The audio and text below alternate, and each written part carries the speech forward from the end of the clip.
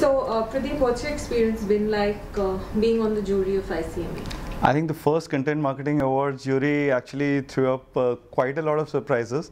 I think the quality and diversity of entries was the first thing that stood out. I think uh, all of us had uh, not really envisaged the wide diversity of work that is happening in this area.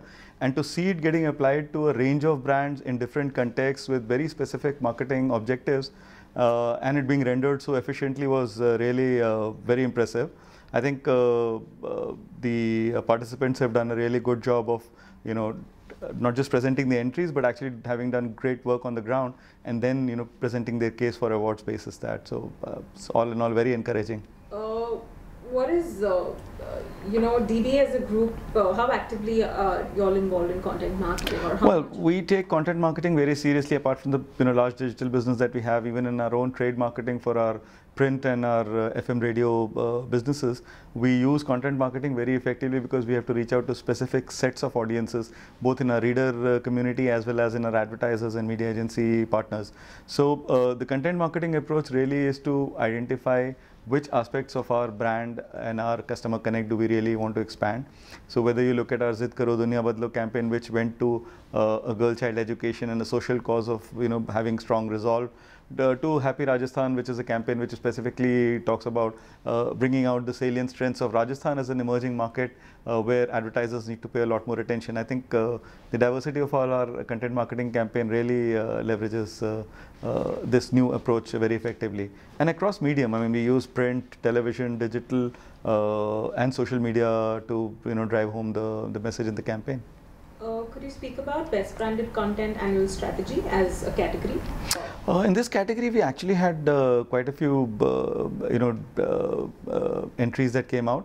The thing that stood out was that all brands seem to have taken content marketing very seriously as part of their annual marketing calendar and have invested not just time and effort but funds to make sure that there is some level of sustainability. I think, as one of the jurors pointed out, it is very important to have the core brand strength and core brand salience uh, coming through in each and every campaign that is being done, even if it may be done for a specific sub-brand uh, within that uh, brand ownership. And I think uh, for all the brands where we saw annual campaigns, I think the thing that stood out was that they have taken the whole content marketing and content integration very seriously in terms of how they are uh, creating the marketing plan for the year. And if this is the seriousness which this area is getting, I believe content marketing will become one of the most strategic weapons in the hands of marketers as we move forward.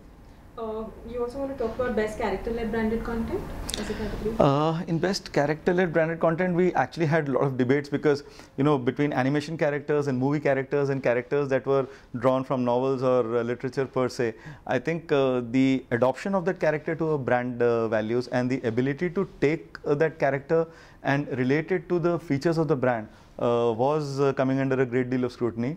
However, I think uh, having this category in itself is actually recognition of the fact that today a lot of a lot of marketing effort is emanating from recognition of uh, specific story-led ideas which are linked to brands that may not be uh, linked to characters that may not be real in terms of actual living endorsement celebrities or actual living people, but maybe linked to literature or movies uh, and so on and so forth. And yet there are values and uh, saliences that brands see in those uh, characters that can then apply to the brand in terms of stories that are getting integrated. So I believe that increasingly brands would look at characters as one of the ways to go back, whether it's look at comic brands, animation characters, whether audiovisual or in print, uh, or in terms of creating new characters, uh, which would then be integrated. And we saw good examples of that as well. Perfect. Perfect. Thank you so much.